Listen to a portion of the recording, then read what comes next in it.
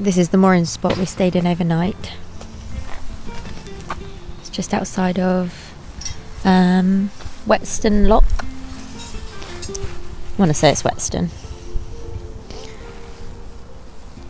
Tickety boos in front of us. This is quite a good mooring spot. It seems quite quiet, no one really about. So it's just outside Leicester on the canal and it's near Whetstone Lock between here and can't remember what the next one is. Um, but yeah, we're just going to move on, get going, and then try and get to Kilby Bridge so we can empty out all of our toilets, get some water, do all that stuff. Yeah. These guys, um, Doug lent a key to in Leicester Marina. We've just met them again, so it was quite nice. Doug was like, "Hey," uh, they've just bought their first boat too. And yeah, so we're gonna try and get to Kilby Bridge. I think it's only like an hour and a half, two hours. But with us, maybe two and a half. um, yeah, last night we literally just got in and crashed once we'd moored up because we've been travelling for ages. We left at like eight, half eight. We left at eight and we got here at six. Yeah, it's a big day. Big day. See you in a bit. See you in a bit. So used to rivers and like flowing water that the canal's so different. It's so different, and the fact that there's positives and negatives. It's very still, but equally there is there's not a lot of depth. So our heavy boat just sort of drags a little bit. Yeah, and like obviously there's more stuff in it, but it doesn't move because there's no like current really. So it just sits there. Um, but yeah, it's very different. It's pretty. Apparently, it's really shallow. So that didn't sound good. There's a lot of sticks. Yeah. There's a bridge. Four bridges. Next lock. 96A.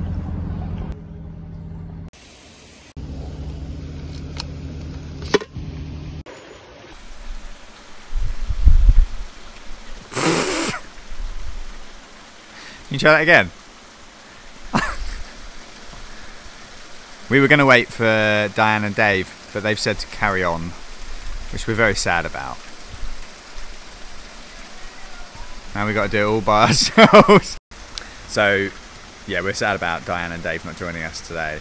We'll see them later, um, partly because they're lovely, but also, oh, look at that sun. Ooh, oh, basking. Um, but also because every lock we got to, because we're slower than them, they had already set it, it was ready to go, one gate was closed, all we had to do was pull in and go up and move on. Um, we slowed them down by about half hour each lock, but they were very lovely about it, and we were very thankful. So if you're watching, Dave and Diane, thank you very much. Here they come.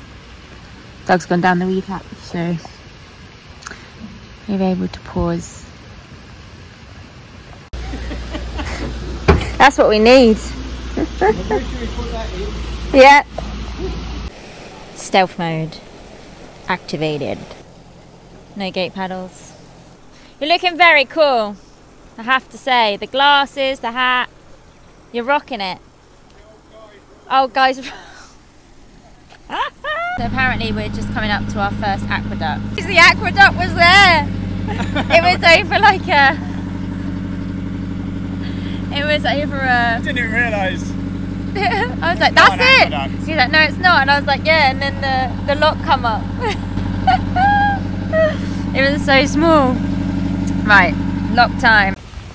So we're a bit all over the place today. Um, I think Sage, we did because we did ten hours yesterday cruising. Sage just she did so well, bless her. She didn't moan once. She didn't cry. She didn't do anything. Um, but I think today she's kind of she's like, I gave you a day. um, so it's a bit harder today. Um, we thought we'd left the windlass at the previous lock, but we haven't, luckily. How does that work then? Oh, there's a card reader. There's no card reader in there. Ooh. I'm getting clean today. Women's toilets, men's. I'm gonna go to the toilet. Have fun. Luxury. See you soon. See you soon. We will. We will indeed. Goodbye.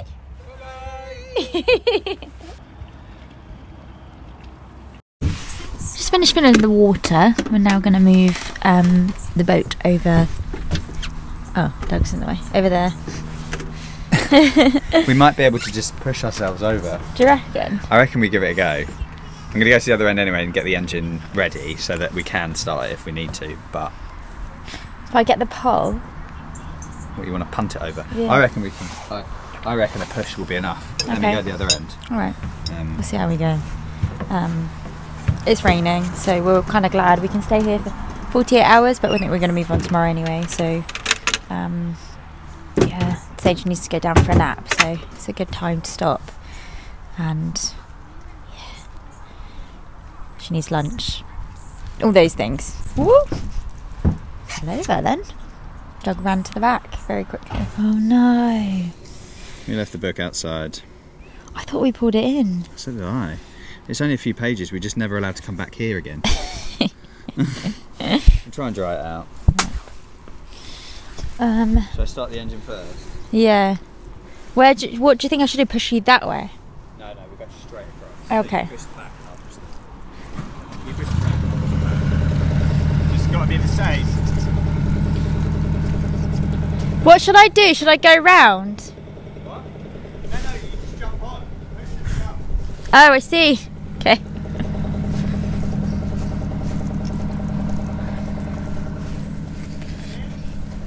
Give it, you have got to give it a good push. Yeah.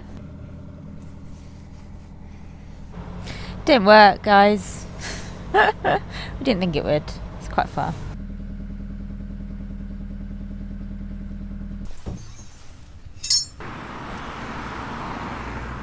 Just heading into town. We're going to go to Sainsbury's. There's a big one in Wigston, which is it's about a 30 minute walk. Feels like about an hour and a half. No, it doesn't. I've not even finished my coffee. I think because most of the places we've been to have had zero hills. Suddenly we've got hills. That's true. It's like, oh hell. Um, yeah, we're going to go and get some food for dinner and then probably retire for the evening. Get some hot showers. Oh, yeah, we can go to the um, facilities across the bridge and have a hot shower. It's the first one we've been to that's got a shower, isn't it? It is the first one. But still no recycling. No recycling.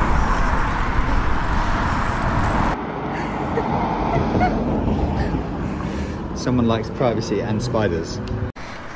There's a house with a hedge that we've never seen so high. It's Like, tall as the house. it's as tall as the house.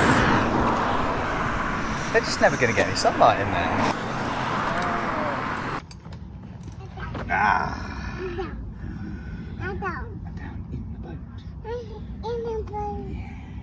Should I put you in? Ready? We're going to pass this tarpaulin onto its owner if we can find them. Okay, so you actually joined us the next day. We had some family over, so we wanted to have a quiet morning. Um, and we were on our way, and then someone said lots of debris is in the canal, and there is an untied boat.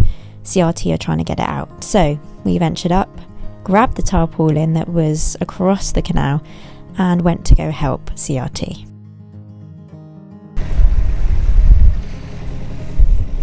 So we're just gonna try and hook up that boat and pull it in. He's gonna jump on. The guy from CRT had been trying to get the boat for about 45 minutes, apparently just kept floating away from him. But he was actually really thankful for the help. The rest of the footage is actually filmed by our nephew Harrison. Thank you, Harrison, for getting it all on camera.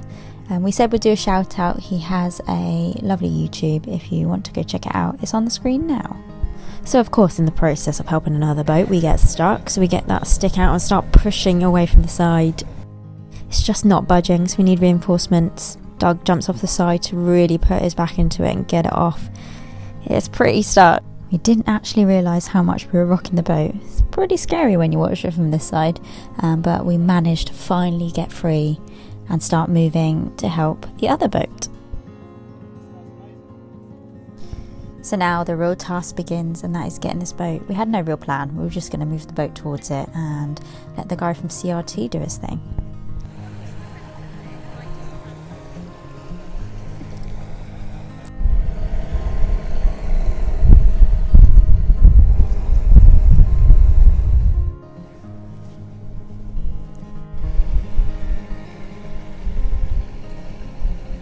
Is on it.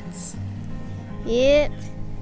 These boats are actually pretty light, so Doug was able to kind of grab it, walk it up the boat, and then both of them were kind of moving with the help of me at the back, moving it towards the land, and eventually we got it in.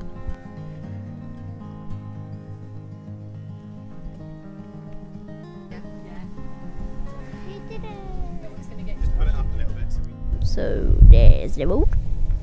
Hello. And then there's the other boat. The other boat that we saved. And now it's here. Moon thing. Chimney. Bucket. So that concludes part two of going through Leicester. We have loved it. We made some lovely friends and saved a boat. And we are now heading through our first tunnel, which is very exciting. And then we head towards Market Harborough. Uh, so, yeah, we'll see you next week. Thank you so much for watching. And thank you very much for all of your generosity giving us coffees because they are well and truly needed right now. yeah, thank you so much. And we'll see you then.